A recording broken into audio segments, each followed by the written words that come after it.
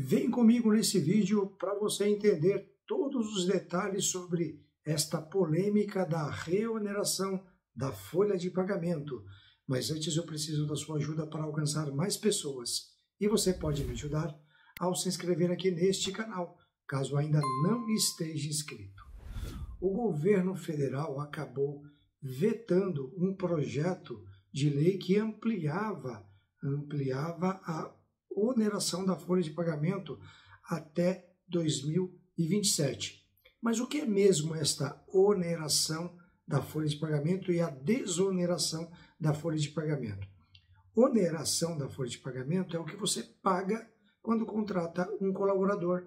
E nós temos aqui a contribuição previdenciária, que normalmente é calculada de uma forma normal, sem a desoneração da folha de pagamentos, na ordem de 20% sobre o total da folha de pagamento.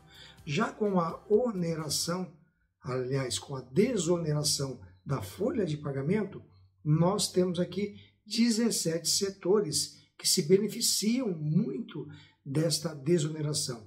Mas esses 17 setores são setores que têm uma alto, um alto nível de empregabilidade e geram muitos empregos. Só em 2022 geraram mais de 1 milhão e 200 mil novos postos de trabalho. Nós temos, inclusive, um estudo que apresenta que esses setores são responsáveis por uma quantidade expressiva de empregos no nosso país, algo em torno de quase 9 milhões de trabalhadores. E o que é esta remuneração? Qual é a diferença? Quando você tem uma empresa que não tem o benefício da desoneração da folha de pagamento, ela paga sobre a folha, o total da folha de pagamento, o total dos salários, ela paga uma contribuição previdenciária com base em 20% do total da folha de pagamento. Estas empresas, elas têm uma margem de lucro muito baixa e um custo muito elevado da folha de pagamento, tornando-se em, alguns, em algumas situações até inviável pagar os 20% sobre a contribuição previdenciária. E esta ideia nasceu justamente para preservar estes empregos, esses empregos e vem se renovando a cada ano, a cada tempo. O governo passado, inclusive, também havia ah, né, até vetado, mas respeitou a derrubada do veto. Então, o que aconteceu?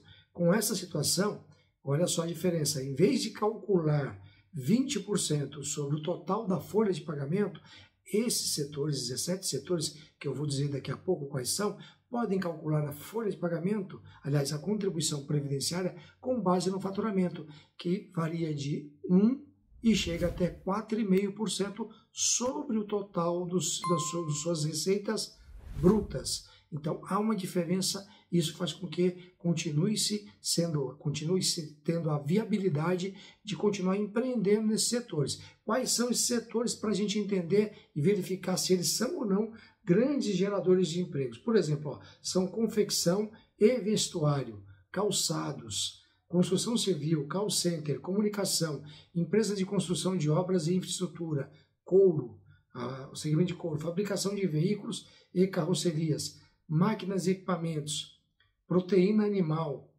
têxtil, tecnologia da informação, área de TI, tecnologia de comunicação, projeto de circuitos integrados, transporte metroferroviário de passageiros, transporte rodoviário coletivo e transporte rodoviário de cargas. Então, esses são setores que, de fato, eles alcançam aí uma grande quantidade de empregos, geram muitos empregos, sustentam aí uma grande quantidade de empregos. Aí nós temos aqui a seguinte questão: com o encaminhamento desta é, deste projeto é aprovado pelo Congresso Nacional, ou seja, Câmara dos Deputados e o Senado Federal, foi encaminhado para o presidente da República, que ele tem o poder de sancionar ou vetar. Ele vetou alegando que seria inconstitucional voltou para o Congresso Nacional, o Congresso Nacional derrubou o veto. Mas o que aconteceu? O presidente da República, o governo federal, editou uma medida provisória reonerando a folha, ou seja, fazendo com que acabasse com a desoneração da folha de pagamento. Isso repercutiu muito mal em todo o meio empresarial e principalmente nesses 17 setores. Como consequência, houve uma pressão muito grande desses 17 setores, de entidades que os representa, e nós tivemos aqui também um, uma pressão no Congresso Nacional. E o Congresso viu de uma forma é, emparedado, pois o, o, presidente da República é, já sabia que o veto havia sido derrubado. E de uma forma, talvez até deselegante, o próprio é, presidente da República vai lá e dita uma medida provisória querendo sobrepor a derrubada do veto à desoneração da folha de pagamento. O Congresso Nacional acabou reagindo não por facilidade, mas sim reagindo por pressão e conduziu um meio para tentar dialogar com o presidente da República e com seu representante, o ministro Tachad, que nós chamamos também de Haddad. Tachad porque todo mundo está falando que ele gosta muito de criar e aumentar imposto, como é o caso, por exemplo, da desoneração da folha de pagamento, que ele quer reonerar, começar a cobrar novamente. E aí aconteceu esse impasse, ficou acordado que o Congresso Nacional estaria sinalizando para o governo para lá revogar esta sua medida provisória. E o Congresso Nacional, até o presente momento, ainda não se manifestou de uma forma efetiva. Nós temos sim senadores se manifestando contrário a esta medida provisória e pedindo para o presidente do Congresso Nacional que devolva essa medida provisória, não aceite esta medida provisória, alegando inclusive uma questão técnica, pois ela ia afrontar uma derrubada de veto, pois tratou-se do, me, do mesmo assunto que foi derrubado lá o veto é, pelo Congresso Nacional. Ou seja, nós temos aqui um placar expressivo. Só para a gente ter ideia, lá no Senado Federal, 60 senadores votaram a, a favor da derrubada do veto e contra 13 que não queriam derrubar o veto, seguiram a linha do governo. Já na Câmara dos Deputados, nós tivemos 378 deputados federais que falaram: vamos derrubar o veto. Não faz sentido um presidente da República é, é, vetar algo que foi amplamente discutido aqui pelo Congresso Nacional, contra 78. Então, o Congresso Nacional se viu realmente em maus lençóis, se não é, tivesse uma, uma resposta efetiva. Derrubar o veto, mas com essa ousadia aí, é, nós queremos entender, inclusive, que foi guiada pelo ministro né, da Economia, o Tachad, de é, apresentar uma mídia provisória, pois a mídia provisória ela tem força de lei. E assim nós teríamos aqui a retomada da cobrança da contribuição previdenciária para esses 17 setores com base na folha de pagamento que seria, que seria inclusive, foi manifestado por esses 17 setores, um caos. Como consequência, eles estavam prevendo a, a perda de vários empregos. Por quê? Segundo eles, alegam, a margem de lucro hoje que eles têm, ela é composta justamente com base nesta desoneração. E eles não suportariam esta reoneração da folha de pagamento.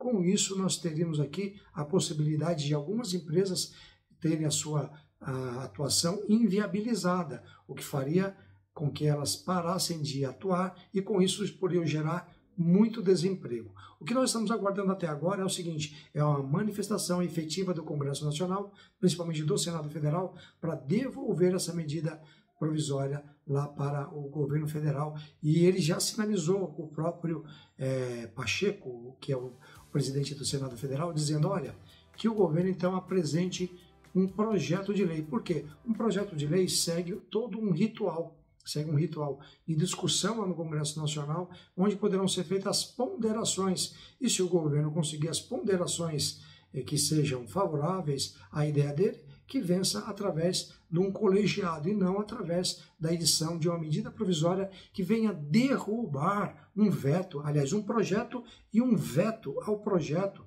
depois de vetado, teve derrubada do veto. Então seria realmente um afronto ao Congresso Nacional, que agora nós aguardamos esta manifestação, que venha o projeto para ser discutido. Nós sabemos que o Congresso Nacional pode, inclusive, priorizar, pois o Congresso Nacional, tanto na Câmara como no Senado, quando tem interesse, pode sim priorizar, colocar como é, na lista dos projetos a serem votados, apreciados e votados pelos parlamentares, serão senadores e deputados federais. O importante é que nós tenhamos aqui uma resposta efetiva para que a gente possa também trazer uma segurança jurídica para estes 17 setores que até agora não têm essa segurança jurídica. Agora comenta aqui o que, é que você achou dessa informação. Ela foi útil para você? Se ela foi útil, deixe um comentário. Foi útil. Se você acha que essa informação também pode ser útil para mais pessoas, sabe o que você pode fazer? Pode compartilhar com todo mundo que você conhece, aqueles seus amigos e familiares que você tem lá naqueles grupos do WhatsApp e do Facebook. Vamos espalhar esta informação de utilidade pública. Não esqueça de deixar aqui o seu gostei neste vídeo e também se inscrever no canal e acionar o sininho, pois toda vez que nós postarmos um novo conteúdo, você ficará sabendo. E eu continuarei aqui gravando mais conteúdos para poder te encontrar num próximo vídeo.